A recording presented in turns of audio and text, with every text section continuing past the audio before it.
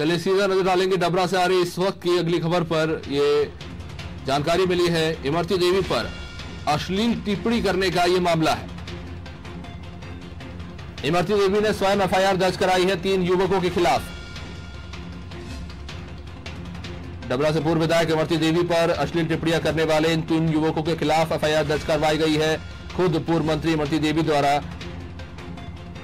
और इन पर आरोप लगे हैं। गालियाँ देने और अश्लील इशारे करने के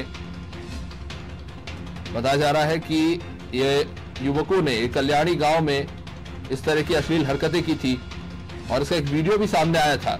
इसके बाद पूर्व मंत्री इमरती देवी ने इनके खिलाफ एफआईआर दर्ज कराई है।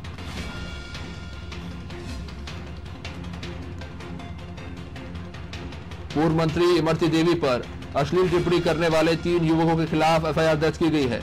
आपको बता दें ये मामला कल्याणी गाँव का है, जहाँ पर इन युवकों ने पूर्व मंत्री इमरती देवी पर अश्लील इशारे किए थे और कुछ भद्दी टिप्पणियाँ की थी।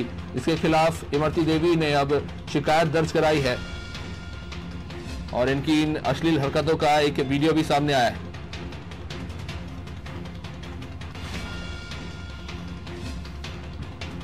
ज़ाहिर तौर पर बड़ा मामला है पूर्व मंत्री इमरती देवी पर। तीन युवकों ने एफआईआर दर्ज। तीन युवकों जिन पर एफआईआर दर्ज हुई है, उन लोगों ने भद्दी टिप्पणी की थी और,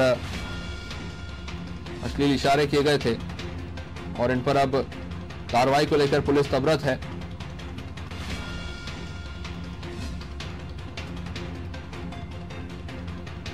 कल्याणी गाँव की ये घटना